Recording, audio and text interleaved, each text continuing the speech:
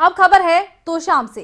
कांग्रेस नेता किरण चौधरी ने प्रदेश सरकार पर तोशाम क्षेत्र के साथ पानी के मामले में भेदभाव करने का आरोप जड़ा है और कहा है कि सरकार की ये दोगली नीति जनता बर्दाश्त नहीं करेगी। पूर्व मंत्री किरण चौधरी ने कहा कि तोशाम क्षेत्र के साथ पानी को लेकर भेदभाव सहन नहीं किया जाएगा। इतना ही नहीं, किरण चौधरी ने इस दौरान बीजेपी सरकार पर लोगों को बांटने का भी आरोप लगाया और कहा कि सरकार की ये दोगली नीति जनता बर्दाश्त नहीं करेगी। उन्होंने कहा कि सरकार नहरों के अंतिम छोर तक पानी पहुँचाने का दावा करते हुए नहीं थकती, लेकिन हकीकत कुछ और ही है।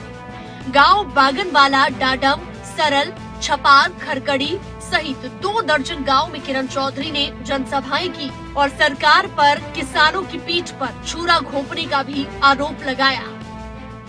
देखिए, बीजेपी सरकारें जो हैं, उनका काम केवल एक है कि बांटो और काटो।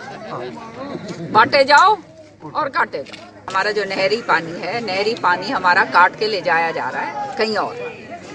और इसकी आवाज़ जो है ज़ोर शोर से जो है हम उठाएँगे क्योंकि पानी के पीने का समान बंटवारा होना चाहिए।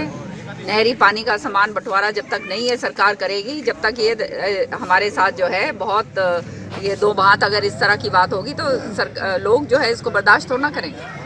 पूरे देश में बवाल मचा हुआ है दो कानून पास किए हैं एनआरसी वगैरह के और लगातार प्रदर्शन हो रहे हैं हर एक स्टेट में इसके बारे में आपका क्या कहना है? किरण ने कहा कि सरकार आवारा पशु को लेकर भी बड़े बड़े दावे करती है लेकिन ये पशु किसानों के लिए आफत बने हुए हैं। पशु कई जगह पर किसानों की फ़सल को बर्बाद कर रहे हैं।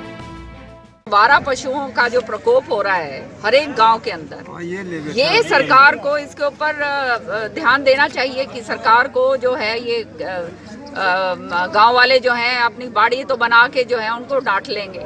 लेकिन खाने पीने का फिर साधन जो है वो सारा सरकार को देना चाहिए जो सरकार नहीं कर रही है। गाँव वाले कितने दिन के कितने हैं? पैसे इकट्ठे कर करके इनको खिलाएँगे।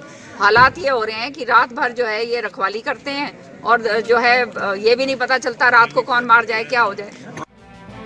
तो वही किरण चौधरी ने सरकार की नीतियों को लेकर सवाल उठाए और कहा कि सरकार की ये दोगली नीतियाँ जनता बर्दाश्त नहीं करेगी। देखना होगा किरण की इन बातों का जनता पर कितना असर होगा। तो शाम से अनुपम शर्मा की रिपोर्ट खबरें अभी तक।